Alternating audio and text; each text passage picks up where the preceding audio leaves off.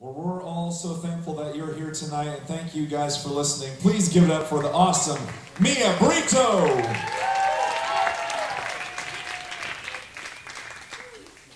Yeah.